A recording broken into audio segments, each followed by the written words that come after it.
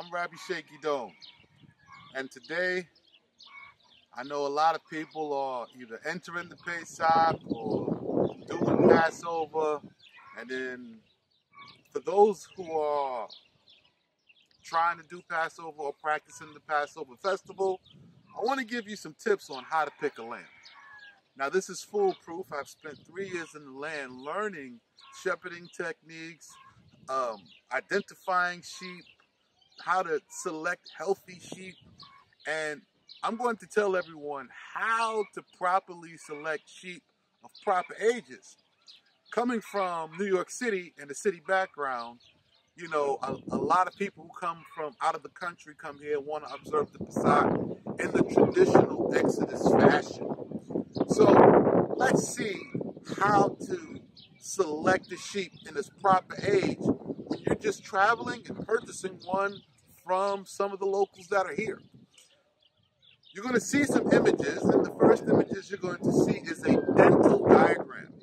This dental diagram is going to show you what sheep's teeth look like because teeth is a permanent age marker.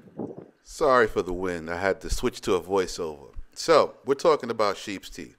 So, when the sheep is born from the first three months, its baby teeth will grow in, and then you'll have eight of these tiny, sharp, what they call milk teeth.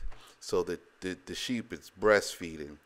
And then after one year, the sheep will then grow two large incisors and push out the baby, a couple of baby teeth there in the front.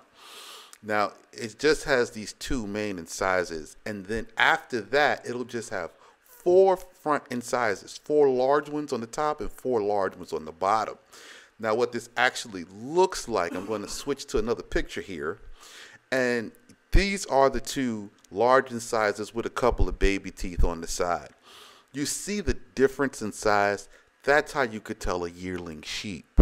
So once you see this, then you know like, hey, this is a young lamb. So when you come and you want to pick out your lamb for Pesach, if you're buying from somebody uh, that you know it's not particularly your flock, but you're just buying a sheep to observe it, this is how you pick out a yearling. You just pick a lamb, look at his front teeth, and you'll see all the lambs that have this little teeth thing will predominantly look the same. You could tell like this is a young lamb.